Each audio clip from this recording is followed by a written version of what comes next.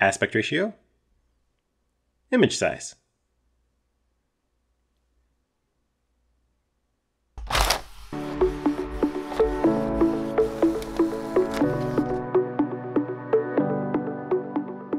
Welcome back to the Visual Center. A very common mistake I see new artists make in Photoshop is when they use the crop tool and they assume that it's also setting their image size. While the crop tool does affect the image size a little bit, it's mostly for setting your aspect ratio. Let me show you what I mean. The image I have here was not cropped during my editing process, so it's at my camera's native aspect ratio. And if you remember from Trent's video, aspect ratio is the comparison of the width to the height which in this case is 2, 3. But what I'm wanting to do is prepare this image to fit in an 8x10 picture frame. The problem is 8x10 is a 4-5 ratio, not a 2-3. At a 2-3, my image size would be an 8x12, and that wouldn't fit in the picture frame. And that's actually related to another common mistake that I see. Oftentimes I see artists try to pick an image size before they know what picture frame that it's going in.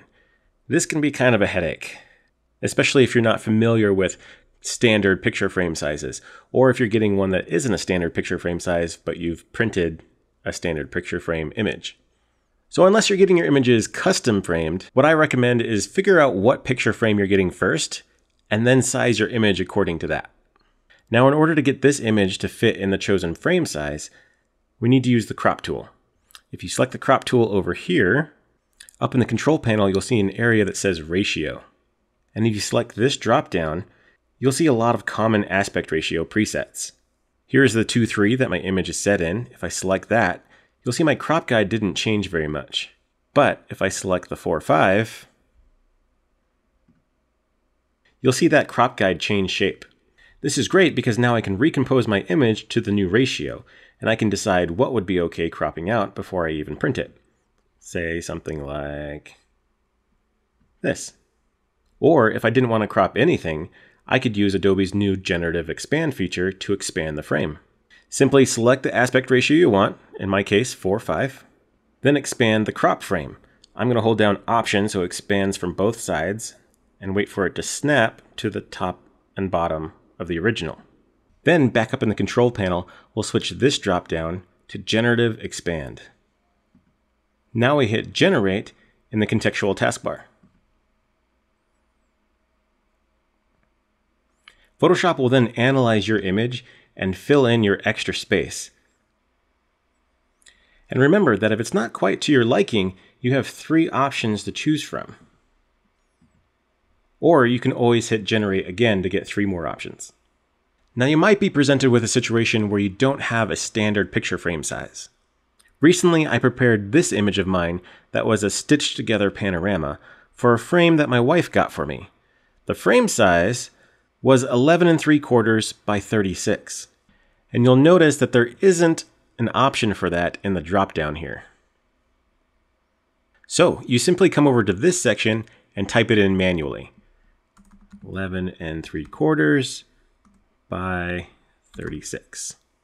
And keep in mind that in my case, 11 and 3 quarters by 36 was portrait orientation, and my image is in landscape orientation. So a quick click here and Photoshop will swap those numbers for me. And there you go. Typing it in manually is also good if you don't want to have to do the math. You won't find the picture frame size 16 by 20 in the dropdown, because 16 by 20 is actually a 4 5 ratio. The ratios are written in the most simplified fractions of your dimensions. Warning. Warning. Math. Warning. But don't worry about doing the math to figure that out. You can go ahead and just type in 16 by 20. And Photoshop will accept it and even recognize that it matches a preset. Now this brings us back to that first common mistake that I mentioned. We typed in 16 by 20, but the crop tool does not resize your image to 16 by 20. It only matches the aspect ratio.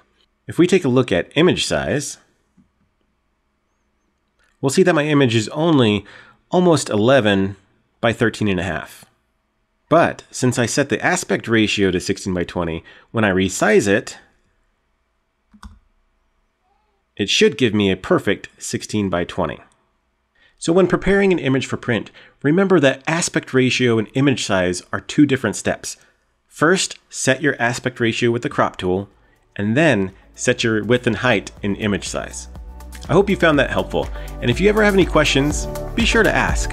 Thanks for watching, and we'll see you next time.